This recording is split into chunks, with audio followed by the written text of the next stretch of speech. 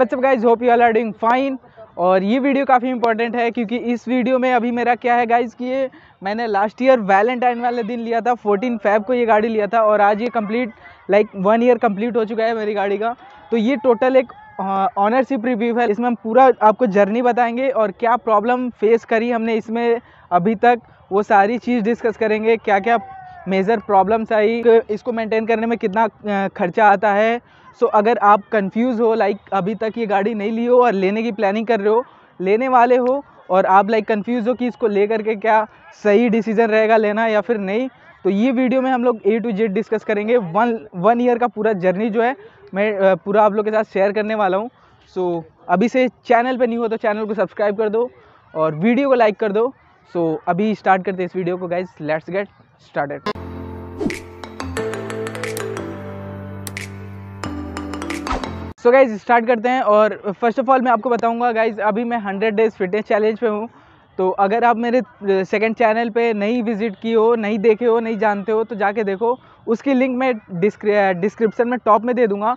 वहाँ मैं hundred days fitness challenge कर रहा हूँ, जिसमें आपको डील जिम रूटीन की वीडियो डाल रहा हूँ और वहाँ वीडियो देखने को मिल जाएगी। सो so गाइज़ अभी बात कर लेते हैं इस गाड़ी को। गाइज़ इस गाड़ी को मैंने last year fourteen Feb Valentine वाले दिन लिया था और ये जो गाड़ी में मुझे पड़ी थी, मैंने कैश लिया था और मेरे को पड़ी थी उस टाइम ये two lakh thirty five thousand की और मैं अपने सिटी में, बनारस में सबसे मतलब पहली आरसी है जो मैंने निकाला था।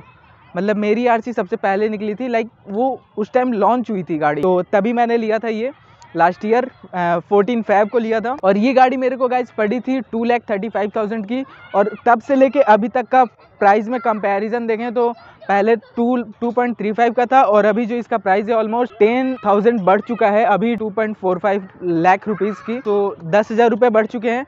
मेजर प्रॉब्लम मैं बता दूँ लाइक इस गाड़ी को ले करके अभी मैंने ज़्यादा कुछ चला नहीं हूँ। इसका बता दूँ, अभी डिस्टेंस मैंने कितना कवर किया। तो गाइज़ अभी फोर थाउज़ेंड टू हंड्रेड ही चली है मेरी गाड़ी एक साल में। और उसका रीज़न ये है गाइज़ कि जैसे मैंने गाड़ी लिया था फैब में, मार्च से लॉकडाउन स्टार्ट हो गया था और लॉकडाउन अच्छा खासा रहा और लॉकडाउन में गाड़ी बिल्कुल नहीं निकल पाई। और जैसे लॉकडाउन स्टार्ट हुआ, उसके बाद मतलब घूमना फिरना स्टार्ट किया, अभी ज़्यादा नहीं चली है। फोर थाउज़ेंड टू हंड्रेड चली है गाड़ी। तो गैस अभी मैं बता दूँ, इस गाड़ी में एक मेजर प्रॉब्लम्स है, वो है इसकी सीटिंग पोजीशन अगर आप ये गाड़ी खुद के लिए ले रहे हो कॉलेज लाइफ के लिए ले रहे हो, तब तो ये गाड़ी ठीक है। अगर आप फैमिली रीज़न के लिए चाहिए आपको गाड़ी तो ये गाड़ी नहीं ले सकते यार क्योंकि इस, इसकी सीट हाइट देख लो।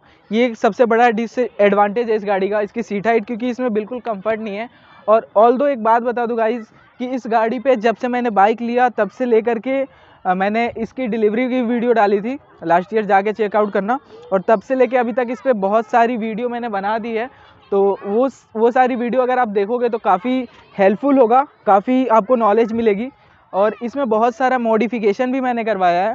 जैसे इसमें देख लो, ये फ्रेम स्लाइडर लगवाया मैंने और ये मोबाइल होल्डर्स लगवाई है फ्लैशर लाइट लगवाई है और एंजल आई लगवाई है और ये नंबर प्लेट भी लगवाया है और भी बहुत सी मॉडिफिकेशन है और जितनी भी मॉडिफिकेशन मैंने करवाई हैं, उनका प्रॉपर सेपरेट वीडियो मैं बना के डालता गया हूँ।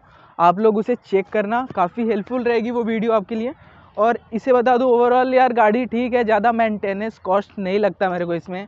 मेंटेन करने में मेंटेनिंग में क्या है कि गाइज़ ओपन चैन सिस्टम है तो आपको चैन क्लीन चैन लीव करना पड़ेगा हर 200 300 किलोमीटर पे। और अभी गाड़ी देख लो, पूरी गंदी है, इसको वॉश करना पड़ेगा, वो तो जैनवन बात है, वो खुद से भी कर सकते हो आप लोग। किसी भी गाड़ी को आप, आपको खुद ही वॉश करना पड़ेगा।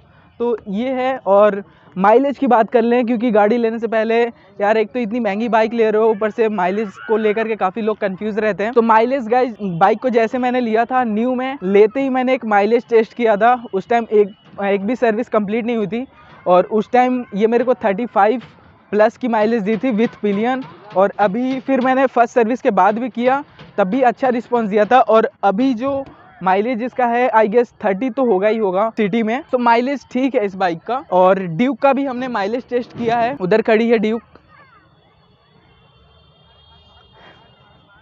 उसकी माइलेज टेस्ट की वीडियो देखनी है तो जाके देखो। आई बटन में या वीडियो लिस्ट में वीडियो पड़ी होगी। सो गाइज़ ओवरऑल ये गाड़ी मेरे को ठीक लगी। जब मैंने स्टार्टिंग में लिया था तो काफ़ी ज़्यादा बैक पेन हो रहा था रिस्ट पेन हो रहा था, क्योंकि चलाने की आदत नहीं थी। और होता है, अगर आप भी न्यू लोगे तो पेन करेगा ट्रैफ़िक वाले एरिया में, जाम में, जहाँ मतलब जाम वगैरह रहता है तो उधर रिस्ट पेन करता है बैक पेन करेगा। ज़्यादा लॉन्ग टूर आप लोग नहीं कर पाओगे। इवन मैंने भी अभी तक कोई लॉन्ग टूर नहीं किया है। मैक्स टू मैक्स मैं 200 किलोमीटर तक ही जा पाया हूँ और लॉन्ग टूर में प्रॉब्लम होगी। सो अगर आप इसको लेकर के और ड्यूक 200 को लेकर के कंफ्यूज हो कि इसे लें या फिर उसे लें तो मैं यार पर्सनली एडवाइस दूँगा कि लाइक आप ड्यूक ले लो, क्योंकि ड्यूक में ये बेनिफिट है गाइस कि उससे आप लोग लॉन्ग टूर भी कर सकते हो इजीली उसकी जो सीटिंग पोस्चर है ना, वो थोड़ा अपराइड है यार बिल्कुल। लाइक देख लो, इधर सामने ही खड़ी है। इसकी सीटिंग पोस्चर बिल्कुल आपको अपराइड मिलेगी और इसमें आपको लीन वाली मिल जाती है लाइक लीन हो गए। तो कंपैरिजन का भी वीडियो मैंने डाला हुआ है प्रॉपर तो वो जाके देखो, उसमें आपको मिलेगा। ओवरऑल यार ओनरशिप रिव्यू यही है, गाड़ी सही है। यहाँ का थोड़ा सा पेंट मेरा रिव्यू हो गया है और कोई गाड़ी में प्रॉब्लम अभी तक मेरे को नहीं फेस करनी पड़ी। गाड़ी ठीक चल रही है और सही है, इसकी थर्ड सर्विस भी कंप्लीट हो गई है और थर्ड सर्विस का प्रॉपर वीडियो मैंने बना के डाला हुआ है। थर्ड सर्विस में कितने पैसे लगते हैं क्या क्या एसेसरीज चेंज होती हैं तो वो सारी चीज़ें डाला हूँ तो वो जाके देखना, ठीक है? और अभी इसका प्राइस बन गया है, अभी तो सेकंड ऑप्शन भी आ गया है लाइक इसका सेकंड कलर इलेक्ट्रिक ऑरेंज तो आपके पास वो भी ऑप्शन रहेगा वो ले सकते हो आप लोग। सो गाइज़ ये थी वीडियो इसका ऑनरशिप रिव्यू का। और ठीक है यार मैं हैप्पी हूँ सही है गाड़ी। सो आप लोग भी ले सकते हो। सो ये थी आज की वीडियो गाइज़ आई होप आप लोग को अच्छी लगी होगी। और आ, मतलब कुछ वीडियो अगर इस पर चाहिए आप लोग को तो वो मेरे को बताइएगा। और इसमें जो बहुत से लोग कंफ्यूज होते हैं लाइक इसकी दोनों हेडलैम्प एक साथ क्यों नहीं जलती है तो काफ़ी जल... तो गैस अभी मैं इसका जो दोनों हेडलैम्प है एक साथ लाइक बहुत से लोग पूछ रहे थे कि दोनों हेडलैम्प एक साथ क्यों नहीं जलती है? कैसे जलेंगी? तो उसमें वायरिंग करानी पड़ती है और उसकी वीडियो काफ़ी जल्दी मैं लेकर आने वाला हूँ। तो एक्टिव रहना।